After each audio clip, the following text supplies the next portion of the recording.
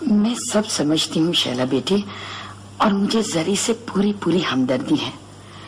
مگر وہ لوگ تجھے دیکھنے کے لیے آ رہے ہیں۔ اگر انہوں نے اس کے بارے میں پوچھ لیا تو ہم کیا بتائیں گے؟ یہی کہ میری سہیلی ہے۔ اور بیٹا اگر انہیں یہ پتا چل گیا کہ تمہاری دوست گھر سے بھاگی ہوئی ہے یا اس کے والدین نے اسے گھر سے نکال دیا ہے اور پھر اور پھر یہ کہ وہ پہلے سے شادی شدہ شخص سے شادی کر کے اس سے بھی طلاق حاصل کر چکی ہے تو وہ ہمارے بارے میں کیا سوچیں گے؟ تمہارے بارے میں کیا سوچیں گے؟ بتاؤ نا بیٹا کیا سوچیں گے؟ امی تو میں کیا کروں؟ بیٹا تم اپنی سہیلی سے کہہ دو کہ ایک دو دن کے لیے کسی دوسری سہیلی کے گھر چلی جائے۔ صرف ایک دو دن کے لیے؟ میں نے صبح اس سے اشاروں اشاروں میں بات تو کی تھی۔ میرا خیال ہے وہ سمجھ بھی گئی ہوگی۔ مگر وہ تمہاری دوست ہے بیٹا تم اس سے کھل کر بات کر سکتی ہو۔ امی میری سمجھ میں نہیں آتا کہ میں اس سے کیسے بات کروں۔ کیا کہوں میں اس سے؟ شالا ہاں۔ شالا وہ کوئی بیگ ہوگا تمہیں پاس کپڑے رکھنے کے لیے؟ کیوں؟ بیگ کیا کرنا ہے؟ میں نے دستکاری اسکول میں نوکری کر لی وہاں ہاسٹل بھی ہے۔ ہاسٹل میں میں مجھے جگہ دے دی انہوں نے۔ ہاسٹل میں رہو گی؟ لیکن ہاسٹل میں تو بہت ہاں ہاں بیٹا بیگ بڑے ہیں بڑے بیگ ہیں۔ وہ تم زری بیٹی کو نا وہ کالے والا بیگ خالی کر دو امی جان ہاسٹل کا ماحول تو بہت ارے۔ بیٹا اگر اس کو نہیں پسند آئے گا تو وہ یہاں واپس آ جائے گی۔ آخر یہ بھی تو اس کا اپنا گھر ہے۔ جی۔ آئیے آئیے تشریف رکھیے تشریف رکھیے۔ بیٹھیے۔ شکریہ۔ مس زرینا کچھ لوگ آپ کے ہاسٹل میں رہنے پر اعتراض کرتے ہیں۔ جی کیوں؟ کیا اعتراض کرتے؟ معلوم نہیں کیسے پتہ چل گیا ہے کہ آپ کو والدین نے گھر سے نکال دیا تھا اور یہ کہ آپ نے کسی شادی شدہ شخص سے ہاں سمجھ گئی۔ کیا کہنا چاہتے ہیں آپ؟ سمجھ یہ میں نہیں کہہ رہا ہوں لوگ کہتے ہیں۔ ان کے خیال میں آپ کا جوان بچوں کے قریب رہنا ٹھیک نہیں ہے۔ اچھا جی میں کل صبح ہی چلی جاؤں گی جی یہاں سے۔ نہیں نہیں میں بھی آخر انسان ہوں کچھ انسانی ہمدردی رکھتا ہوں۔ میں آپ کو اپنے گھر لے جا سکتا تھا لیکن میری بیگم کچھ زیادہ ہی شکی میں راج خاتون ہے۔ معلوم نہیں کیا سمجھ بیٹھے۔ میں نے اپنے ایک دوست سے ان کے کوارٹر کی چابی حاصل کر لی ہے آپ کے لیے۔ اے، کسی فکر نہ وہ میں وہ, میں خود ادا کر دوں گا۔ ابھی چلی جاتی ہوں اسی وقت چلی جاتی سنیے تو میری بات تو سنیے، جلد بازی سے کام نہ لیجیے میرا مطلب یہ تو نہیں تھا کہ آپ در بدر کی ٹھوکروں کے دوران میں نے اپنے پھیپڑوں میں جراثیم پالنے شروع کر دیے۔ اور ایک روز پتا چلا میرے ابو فوت ہو گئے۔ میں ان کی شکل آخری مرتبہ دیکھنے گئی۔ تو امی جان، جو بہت زیادہ بیمار رہنے لگی تھی دروازہ کھول دیا۔ کہ کوئی دروازہ بھی ماں کے دل سے بڑا نہیں ہوتا۔ ماں کے دل سے بڑا نہیں ہوتا۔ میں نے اپنے ابو کے چہرے پر میرے دکھ کو لکھا ہوا صاف پڑھ لیا تھا میرے نصیبوں کی سیاہی نے میرے ابو کے تمام بال سفید کر دیے تھے اور ان کی رگوں میں اندھیرا اتار دیا تھا میں اپنے آپ کو اپنے باپ کی قاتل سمجھنے لگی اور اور میرے اس جرم کے احساس نے میرے پھیپڑوں کو اور زیادہ چھلنی کر دیا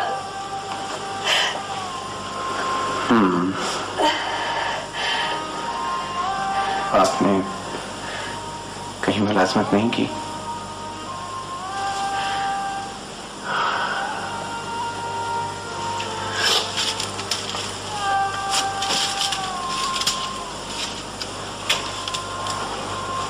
بیمار عورت کو کہاں ملازمت ملے گی ملا بس میں تو جہاں بھی گئی، مجھے تو خالی کوارٹروں کی چابیاں ہی ملی۔ میں نے کپڑے سی کر گزر اوقات شروع کر دی اور اپنے پھیپڑوں کو زخموں کا سلانے لگی۔ یہ مرض تو بہت حد تک قابل علاج ہے۔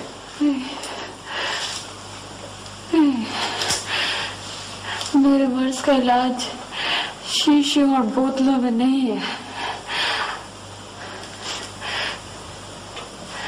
ایک امی جانتی جو ساری ساری رات بیٹھ کر میری تیمارداری کیا کرتی تھی۔ وہ بھی چھوڑ کر چلی گئی۔ تو میں یہاں آ گئی۔ یہاں میں ہوں۔ اور تنہائی۔ اور اب تو دروازہ بھی نظر نہیں آتا، جس پر میگنولیا کی شاخیں جھکی ہوں، جس پر سفید پھول کھلے ہوں اور ان کی خوشبو سات گھروں تک جائے اور ایک دنیا کو مہکائے ایک دروازے کی تصویر اس رسالے میں بھی ہے۔ مگر اس پر میگنولیا کی شاخیں نہیں ہیں بوگن بیلیا کی بیلیں ہیں۔ اور بوگن بیلیا کے پھولوں میں خوشبو خوشبو ہوتی ہے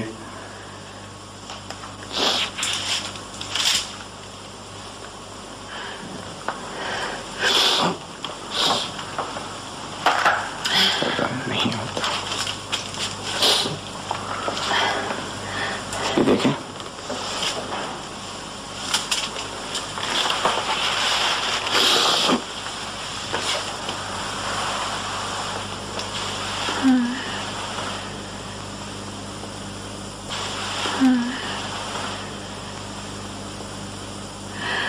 بہت خوبصورت واقعی مجھے دے دیں رکھ لیں میں آپ کو اور بھی کتابیں بھیجوں گا کیسی کتابیں پسند کرتی ہیں آپ؟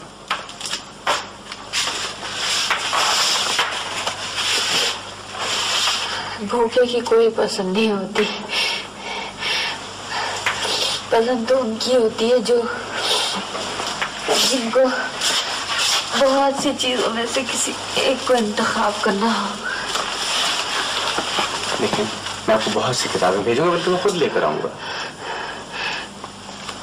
نا بچوں کے رسالے بھیجے مجھے بچے بہت اچھے لگتے ہیں۔ خوبصورت فرشتوں کی طرح معصوم۔ آپ کے بچے ہیں؟ آپ اپنے بچوں کی تصویریں بھیجے ہاں؟ میرا کوئی بچہ نہیں۔ میں نے شادی نہیں کی۔ کیوں؟ شادی ایک بہت بڑی ذمہ داری ہے۔ اور میں اتنی بڑی ذمہ داری کا رسک نہیں لے سکتا۔ ایک بار غلطی کرنے لگا تھا۔ لیکن بال بال بچیا۔ غلطی؟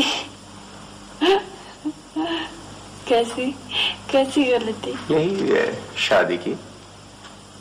یہ ایک لمبی کہانی۔ ہے پھر کبھی آپ کو سناؤں گا۔ پھر کبھی؟ ہم۔ صحت مند لوگوں کے پھر کبھی کا لفظ بہت آسانی سے کہہ دیتے لیکن جو ایک ایک سانس گن رہے ہو ان کے منہ پر یہ الفاظ نہیں آتے۔ ایسی۔ میرے پاس بھی شاید پھر کبھی کے لیے زیادہ وقت نہ ہو۔ ایسی باتیں نہ کریں آپ۔ ذریع حقیقت کو کیسے جھٹلا سکتی ہے؟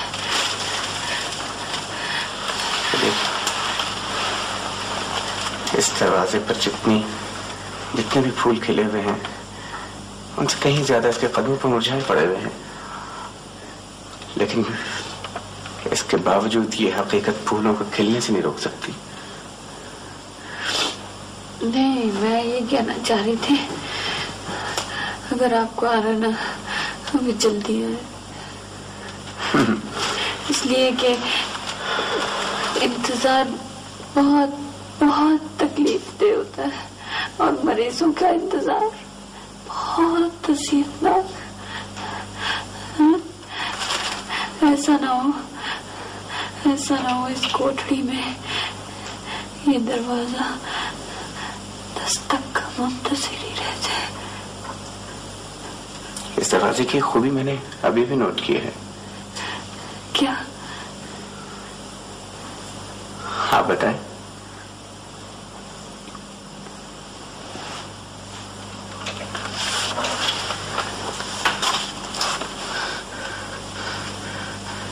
اس کا کوئی اس کی کوئی کنڈی نہیں۔ ہاں۔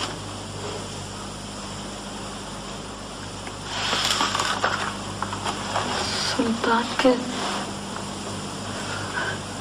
کوارٹر کی طرح اندر سے بند ہوتا ہوگا۔ جس دروازے کے باہر کنڈی نہ ہو وہ اندر سے بھی کھلا ہوتا ہے۔ کوئی خوش قسمت لوگوں کے گھر کا دروازہ ہے نا؟ سلطان بہت بدقسمت تھا۔ اس نے اس دروازے کی قدر نہیں کی۔ میں بہت جلدی آؤں گا۔ خدا حافظ۔ خدا حافظ ابو خدا حافظ۔ میرا ایک دن آپ کی وجہ سے اتنا اچھا گزر گیا نا۔ کسی سیانے نے کہا ہے اپنے آج کو اپنی باقی ماندہ زندگی کا پہلا دن سمجھو۔ سمجھو؟ کیا مطلب؟ مطلب یہ کہ الٹی گنتی نہ گرا کرو ہم؟ اچھا ٹھیک خدا حافظ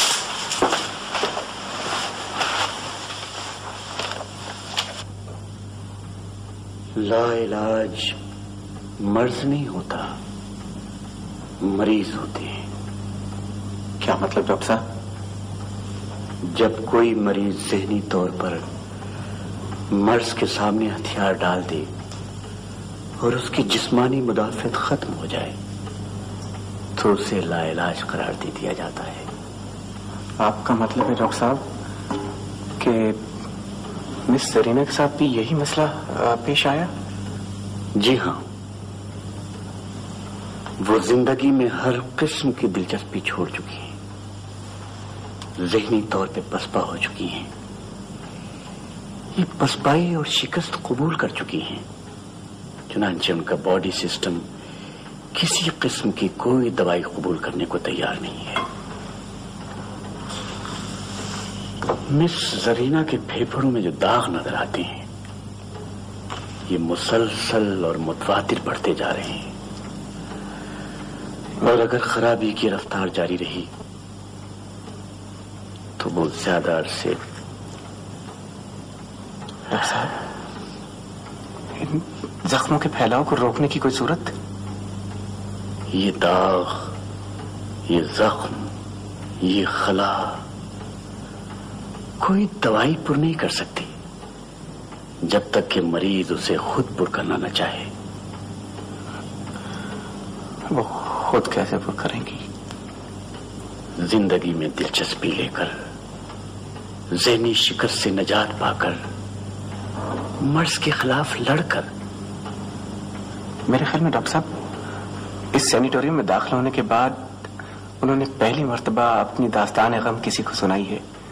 اور جس انداز سے سنائی ہے ڈاکٹر صاحب، اس سے ظاہر ہوتا ہے کہ زندگی میں ان کی دلچسپی باقی ہے۔ اس دلچسپی کا دس ٹوٹ پھوٹ کا شکار ہوتے ہیں۔ یہ دلچسپی ذہنی، وجدانی بلکہ روحانی نوعیت کی ہوتی ہے۔ اور ابھی کوئی ایسی دوائی ایجاد نہیں ہوئی، کوئی ایسا ٹیکا نہیں بنا جو اس ذہنی، وجدانی اور روحانی دلچسپی میں اضافہ کر سکے۔ ہاں۔ البتہ ایک مریض میں میں نے بات نوٹ کی ہے۔ ایک کیا بہت سارے مریضوں میں۔ جی وہ کیا ڈاکٹر صاحب؟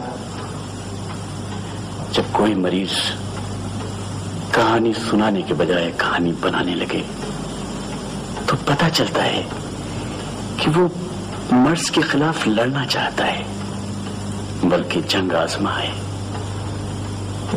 کہانی بنانے سے مطلب ڈاکٹر صاحب؟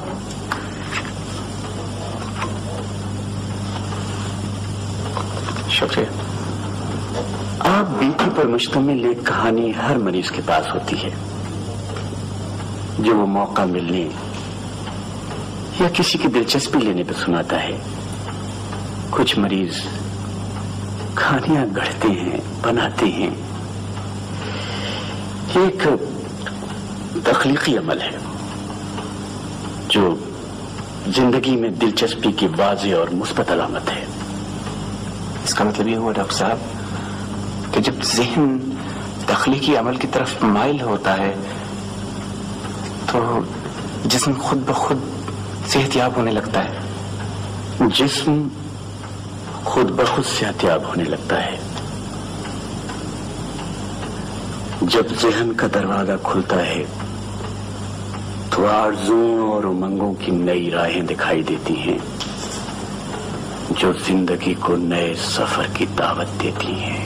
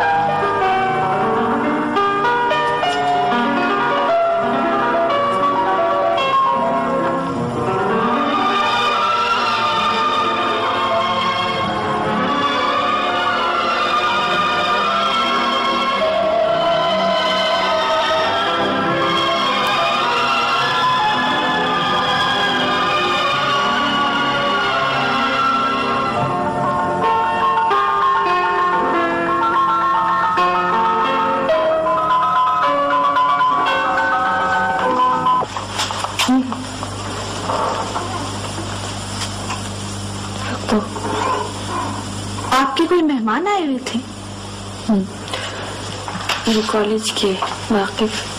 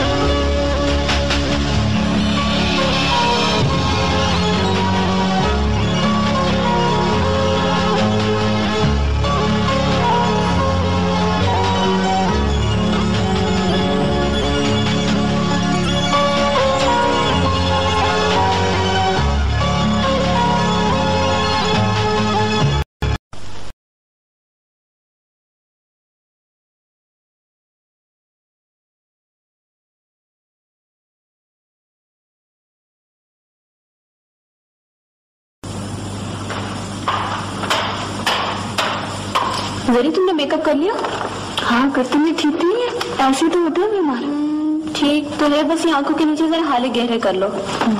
اور دکھنے میں صرف پندرہ سولہ منٹ رہے گا اچھا۔ ابھی میں تیار ہو سکتی سلطان کر پورا وارڈ روم میں سلطان آ گیا تم جب تک اس کے ساتھ لائنیں دہرا لو۔ جلدی سے کرو۔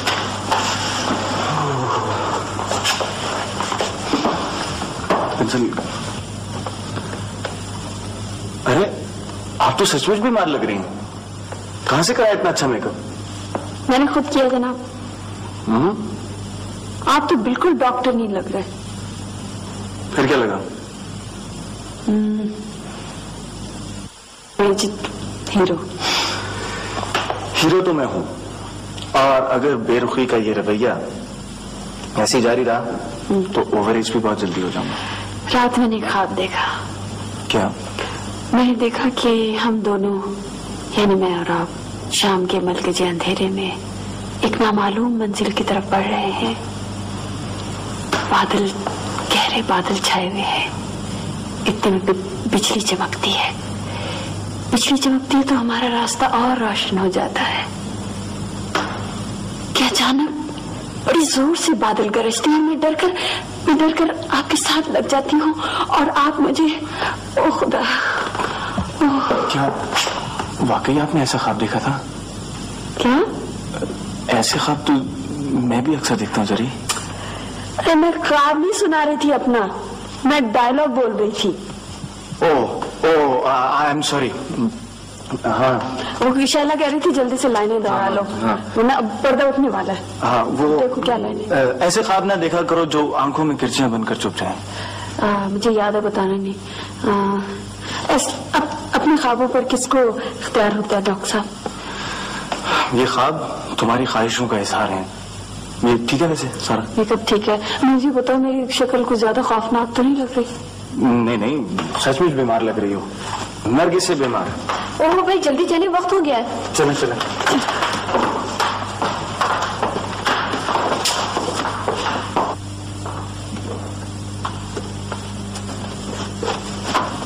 ہلو۔ ہیلو زری کیا حال ہے ٹھیک۔ کیا ہو رہا ہے؟ کچھ نہیں۔ کیا بات ہے؟ جب سے آپ کلاس میں فرسٹ آئے ہیں اداس اداس سے رہنے لگے۔ دراصل فرسٹ آنے کی جتنی خوشی ہے کالج چھوڑنے کا اتنا ہی افسوس ہو رہا ہے کہ آپ جیسے اچھے اچھے لوگوں سے دور چلا جاؤں گا۔ اور زندگی کی مصروفیات میں الجھ کے آپ سب کو بھول جاؤں گا۔ نہیں نہیں۔ یہ یادیں کبھی نہیں بھلائی جا سکتی۔ کسی نے کہا کہ انسان زمانے طالب علمی میں دوست بناتا ہے اور اس کے بعد صرف واقف۔ اور بیوی اور بچے۔ آج میرے والد صاحب کا خط آیا۔ لکھا ہے کہ میری امی نے میرے لیے دو تین لڑکیاں دیکھ رکھی اکٹھی دو تین؟ نہیں نہیں ان میں سے مجھے صرف ایک لڑکی کا انتخاب کرنا ہے۔ اچھا۔ تو مجھے لے چلے میں میں انتخاب کروں گی۔ آپ تو انہیں اپنے معیار پر رکھیں گی یہ تو ہے۔ تو میرے معیار کا کیا بنے گا؟ آپ کا معیار؟ آپ بتا دیں کیا معیار ہے آپ کا؟ ایک ایسی لڑکی جو میری امی کے ساتھ پیڑھی پہ بیٹھ کے کھانا کھا سکے۔ یہ تو ہر وہ لڑکی کر سکتی ہے جو کہ اپنے والدین کی عزت کرتی ہوں۔ ایک ایسی لڑکی جو دنیاوی سہولتوں اور آسائشوں کو روحانی تسکین اور ذہنی آسودگی پر قربان کر سکے۔ یہ بھی کوئی مشکل کام نہیں۔ جس سے میں ذہنی رفاقت پیدا کر سکوں۔ یہ تو گیو اینڈ ٹیک کا مسئلہ ہوتا ہے۔ ویسے بھی ہماری لڑکیوں میں ایڈجسٹمنٹ کی مفاہمت کی بہت زیادہ اہلیت ہوتی ہے۔ واقعی؟ بالکل۔ یہ میں اپنی امی کو بتاؤں گا۔ بتا دوں نے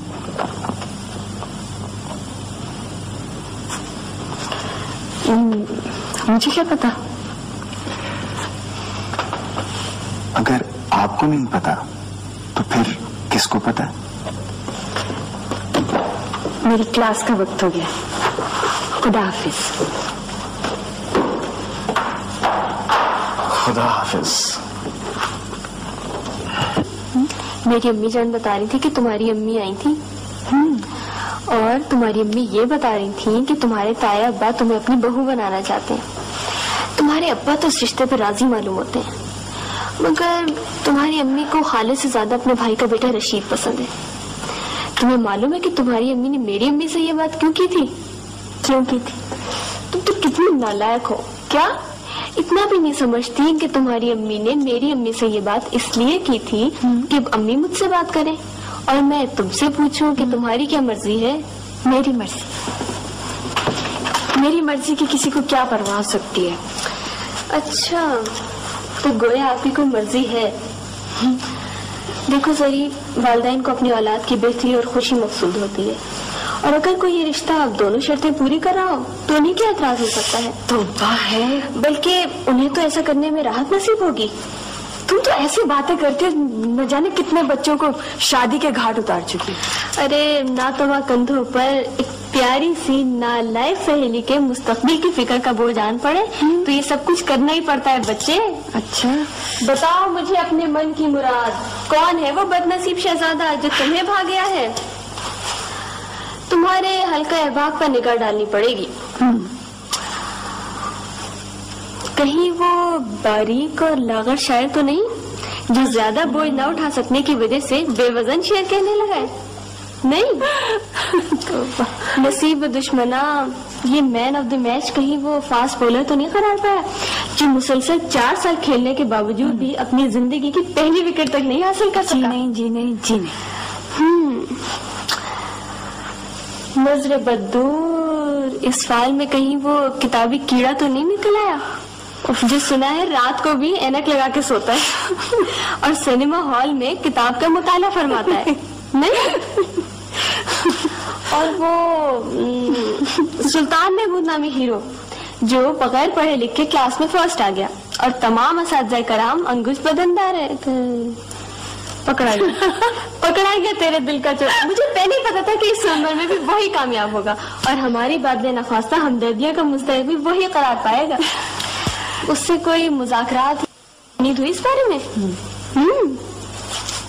منون بیان کرو تاکہ تجزیہ کیا جا سکے۔ اور اگر مناسب اور معقول سمجھا جائے تو تمہاری امی جان کے گوشت گزار کر دیا جائے۔ زری کی سہیلی شیلا کہتی تھی کہ سلطان بڑا ہی ذہین معقول اور لائٹ لڑکا میں نے کہا لیکن ہماری لڑکیوں کے رشتے تو برادری سے باہر نہیں ہوتے۔ زری کو رشید اور خالد دونوں میں سے کسی ایک کو پسند کرنا پڑے گا۔ شیلا کہتی تھی کہ یہ کچھ مناسب نہیں ہے۔ ہمیں زری کا رجحان بھی دیکھنا چاہیے۔ شیلا ٹھیک کہتی ہے۔ کیا مطلب؟ اس زری بیٹی پر ہم اپنی پسند نہیں ٹھونس سکتے۔ دیکھو زندگی اس نے گزارنی ہے۔ اور وہ کوئی ایسی ناسمجھ لڑکی بھی نہیں ہے۔ تو آپ بھائی سلیم کو کیا کہیں گے؟ اور میں بھائی عبدالکریم کو کیا جواب دوں؟ گی ہاں بتایا جا سکتا ہے کہ بچے ہمارے پاس قدرت کی امانت ہوتے ہیں ہماری ملکیت نہیں ہوتے۔ اگر وہ ہمارے لیے راحت کا سامان بنتے ہیں تو ہمیں بھی تو ان کی خوشیوں کا خیال رکھنا چاہیے۔ اور میں سمجھتا ہوں یہ بات کوئی ایسی مشکل نہیں ہے کہ کسی کی سمجھ میں نہ آ سکے۔ لیکن اگر سلیم بھائی ناراض ہو گئے اور جائیداد میں سے حصہ نکال لیے پھر؟ شراکت کی یہ کوئی شرط نہیں تھی۔ اس کے باوجود اگر وہ پیسہ نکالنا چاہیں کاروبار میں سے تو بڑے شوق سے۔ بہرحال تم فکر نہ کرو۔ تم بچی کے بہتر مستقبل اور اس کی خوشی کے بارے میں سوچو۔ ایسے سلطان کے والدین ایک دو روز میں آ رہے ہیں۔ ٹھیک ہے میں ان کے بارے میں ساری معلومات حاصل کر لوں گا۔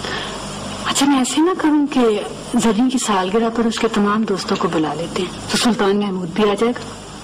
ہاں اور شہرہ سے کہنا کہ اسے دعوت دینا نہ بھولے۔ ٹھیک ہے۔ یہ بات آپ نے بالکل ٹھیک ہے۔ میں شہرہ سے کہہ دوں گی کہ اس کو بلا ضرور لیں شکریہ۔ کانگریچولیشن مبارک شکریہ۔ شکریہ۔ بیٹھیے۔ بھائی مبارک ہو۔ بڑی محفل جمی ہوئی ہے ہاں؟ بھائی ذریع میں تحفہ تو کوئی نہیں لا سکا۔ جی۔ البتہ میں خود آ گیا۔ لیکن پریشان ہونے کی ضرورت نہیں ہے۔ کیونکہ میں نے تحفے کے طور پر جی۔ آپ کی سالگرہ کے موقع پر خاص طور پر لکھی گئی ایک نظم پیش ابھی سنائیں گے۔ جی جی ابھی اسی وقت۔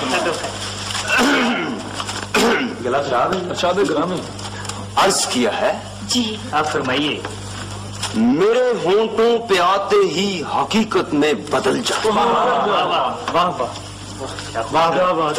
میرے ہونٹوں پہ آتے ہی حقیقت میں بدل جائے میرے دل سے جو نکلی ہیں دعائیں شاد بڑی مشکل سے زرینہ کو ملے زرینہ کو ملے دنیا میں شہرت گل فشانی کی ہاں۔ زرینہ کو ملے دنیا میں شہرت گل فشانی کی کہ جیسے دھاک بیٹھی ہے میری شیری بیانی کی۔ شیری بیانی کی۔ کیا کہہ شیری بیانی کی؟ جناب مختار ہے تیار نظم میں مختہ نہیں ہوتا۔ میری نظم میں ہوتا ہے یہی محفل یہی محفل یہی باتیں تو بسمل یاد آئیں گی یہی محفل یہی باتیں تو بسمل یاد آئیں گی کہ جب بھی ذہن میں ابھریں گی یادیں نوجوانی کی ویری سیڈ کیا کہا آپ نے ویری سیٹ یہ دردناک شاعری آپ تو واقعی بہت ہی دردناک شاعری کرتے ہیں۔ یہی نظم آپ میری سالگرہ کے موقع پر پیش کر چکے ہیں۔ معلوم نہیں ابھی کتنی سالگرہوں پہ یہی نظم پیش کریں گے۔ زرینہ سعیدہ اور حمیدہ کا وزن جو برابر ہے تو شاید بیچارہ کیا کرے؟ مجھے لگتا ہے آپ کو ہماری آمد کو زیادہ پسند نہیں آئی۔ یہ کیسے اندازہ لگا لیا آپ نے؟ اتنی سنجیدگی سے بیٹھی ہوئی اتنی اچھی فکر بازی پہ ہنس جو نہیں رہی ہنسی۔ ہنسی میں گانا کنجوسی کے ساتھ کیوں نہیں آئے؟ انہیں تو آج دیکھا ہی نہیں۔ بھوک بڑی لگی ذرا کیک تو کاٹے ورنہ یہ اپنا کام شروع کر دیں گے۔ ہاں جی ہاں السلام علیکم۔ بسم اللہ کرو۔ ذرا بیٹے مہمان آ گئے سارے؟ ہاں جی۔ چلو بسم اللہ کرو۔ سب لوگ دعا مانگے کہ یہ سال۔ زری کے لیے نہایت خوشیاں لائے۔ آمین آمین آمین۔ چلیں جی۔ سلطان صاحب تشریف نہیں آئے۔ آئیے۔ آپ کے چچا کا کیا حال ہے؟ اب تو ٹھیک ہے۔ ان کے داخلے کا ہی مسئلہ تھا۔ ڈاکٹر کہہ رہے ہیں کوئی خطرے والی بات نہیں اچھا یہ ہے زری کے امی ابو ان سے ملیے۔ السلام علیکم جی۔ وعلیکم السلام۔ گرمی سے کیک پگھل جائے گا۔ ہاں بھائی جلدی کریں۔ ایک پھول سے موم بتیاں بجھ جائیں گے۔ آپ مدد کریں۔ بسم اللہ کریں بسم اللہ۔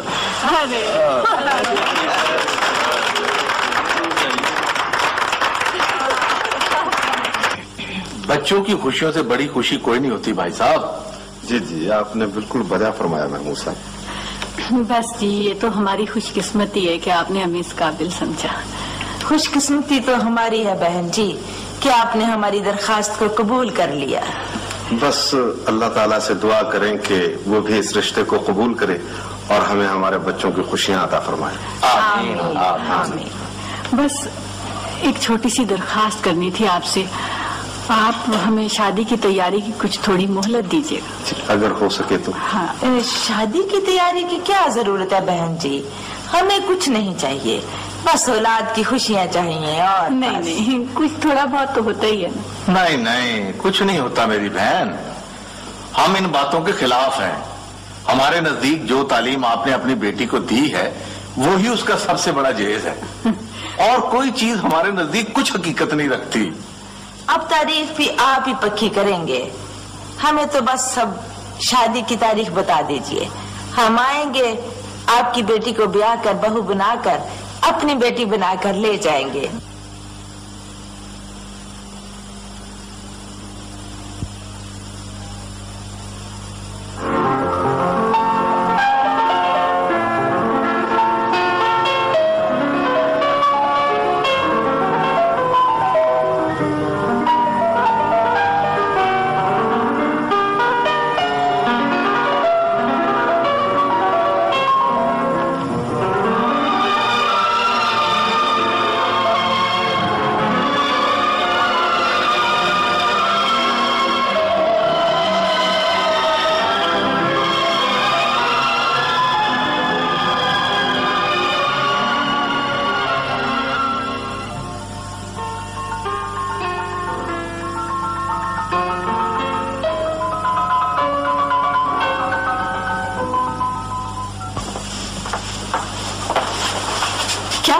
زرینا؟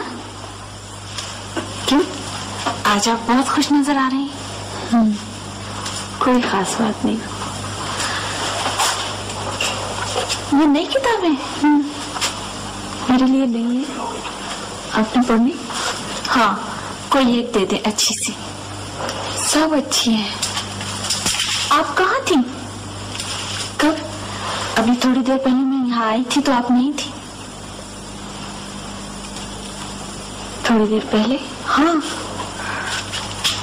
میں وہاں تھی۔ کہاں؟ وہاں اس دروازے سے اندر گئی تھی۔ اس دروازے سے اندر؟ ہاں۔ میں یہاں نہ ہوں تو وہاں ہوتی ہوں۔ ویری انٹرسٹنگ کتاب نہیں لینی نہیں بعد میں لے لوں گی۔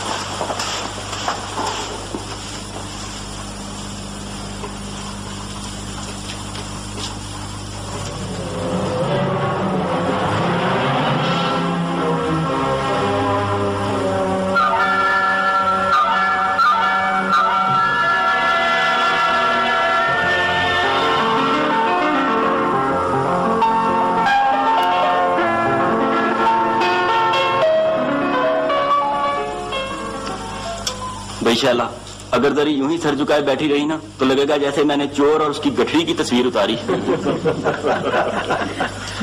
کمال بات ہے۔ چوری سلطان نے کی ہے لیکن شرما گٹھڑی رہی ہے۔ واہ واہ واہ تھینک یو لو بھائی اب اس خوشی کے موقع پر ایک سیرا نما نظم ہو جائے۔ لیکن یاد رکھیے داد دینے میں کنجوسی مت پڑتی ہے۔ عجب چلی ہے ہوائے مغرب سویر تھی ڈان ہو گئی۔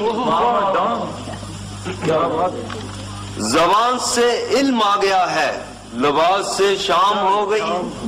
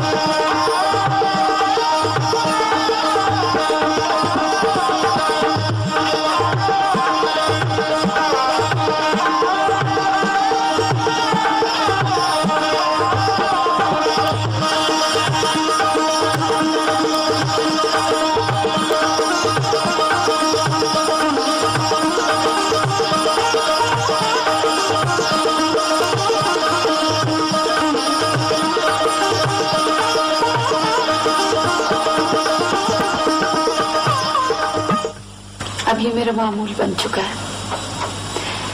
میں ہر روز اس دروازے کے اندر چلی جاتی ہوں۔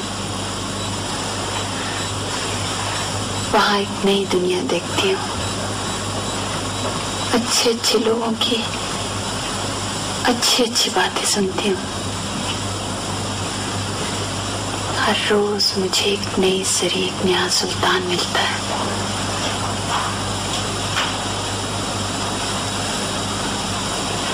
اور پرانی زری پرانے سلطان اور پرانے واقعات کو بھول جاتی ہوں۔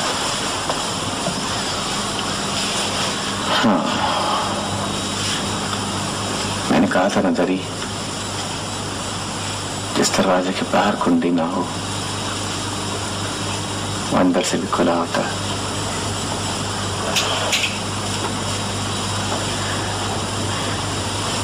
شاید یہی دیکھنے میں دروازے کے اندر گئی تھی۔ یہ, یہ تمہارے اندر کا دروازہ ہے تری اس لیے میں نے تم سے کہا تھا کہ سلطان بہت بدقسمت تھا کہ اس نے اس دروازے کی قدر نہ کی۔ آپ کو ڈاکٹر گنگش بلا رہے ہیں۔ مجھے نہیں آپ دونوں کو۔ ہم دونوں کو؟ کیا بات ہے؟ معلوم نہیں اور بہت سے ڈاکٹر بھی ڈاکٹر بنگش کے آفس میں بیٹھے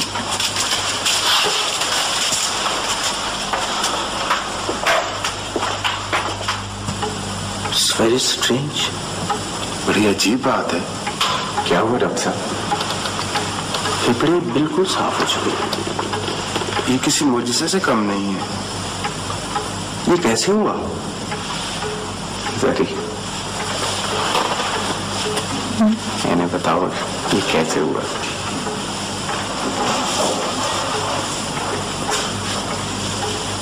یہ میکمولیا کے زخم تھے جنہوں نے بوگن ویلیا سے شفا پائی۔